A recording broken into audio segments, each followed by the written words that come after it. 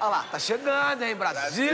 Olha a boa da diretoria. É impressionante como o futebol mexe com a gente, né? Não? Eu lembro exatamente onde eu tava em 2010. Ah, em 2006 também, prefiro nem lembrar. Não, mas em compensação eu lembro exatamente onde eu tava em 2002. Em 94, compadre, coisa linda. Ah, eu também, eu lembro de tudo. Vocês estavam sempre aqui, aí é mole, né?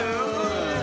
Tá afogado, hein, caramujo? Desse jeito não vai assistir agora em 2014. É cacaré, Caramujo é Código de Ética da Diretoria, capítulo 6. Não se mexe em time que tá ganhando. Se for dirigir, não beba.